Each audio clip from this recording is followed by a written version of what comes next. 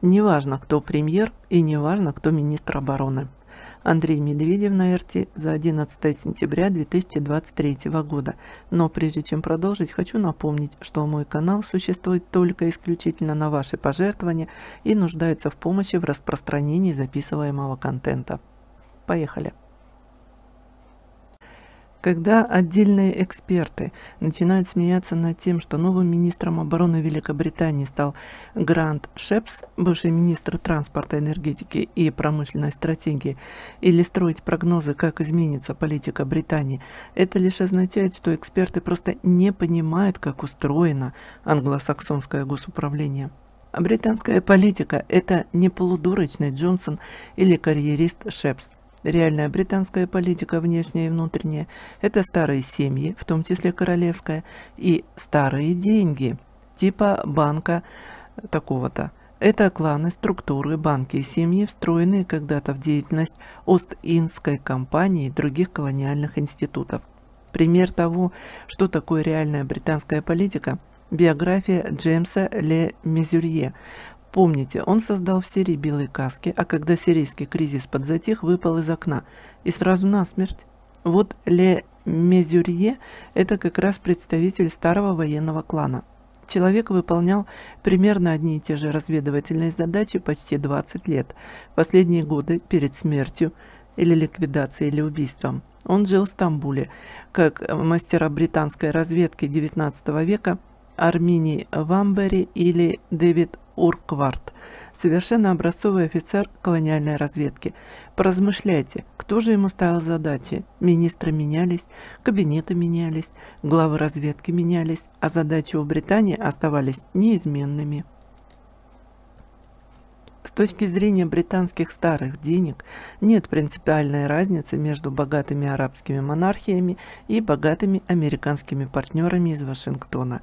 Одни – обнаглевшие бедуины, у которых нашли нефть, другие – обнаглевшие колонисты, преступники, возомнившие о себе слишком много. Британское высшее общество со времен Дизраэли совершенно пропитано сознанием империи – Какие бы мантры про демократию и равенство не озвучивались в публичной сфере. Британская империя во Второй мировой была в числе проигравших. Война добила Британию как колониальную империю. Но сейчас британские элиты, есть такое мнение, пытаются вернуть былое влияние иными инструментами. Главный банк в бывших колониях от Суэца до Шанхая и Токио – это такой-то, который есть наследие Ост-Индской компании и опиумных войн. Британская ЧВК G4S в три раза превышает численно британскую армию. Элиты бывших колоний хранят деньги в Лондоне и учат детей там же. Вся Южная Азия изучает английский и играет в крикет. А кто по сей день печатает гонконгские доллары? Три банка, в их числе снова тот же самый банк. И поддержка Киева официальным Лондоном – это отражение позиций элит, которые стратегически планируют светлое британское будущее. По той же причине британцы раскачивали Сирию, по той же причине они сейчас через турецкие элиты поджигают в очередной раз за Кавказе. И дело не в России, не в Иране. Транзит, чтобы Британия крепла, нужно уничтожать любой сухопутный транзит. Морской англичане традиционно держали под контролем.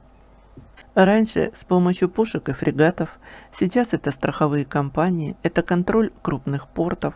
В отношении Британии стоит понимать, что не важно, кто премьер и не важно, кто министр обороны. Не они решают, будут ли дальнейшие поставки вооружений на Украину и будут ли британские офицеры обучать новых украинских сипаев.